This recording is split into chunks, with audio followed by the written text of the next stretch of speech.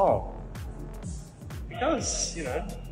Oh, because I'm Asian. You think I want to go to the casino on our first date?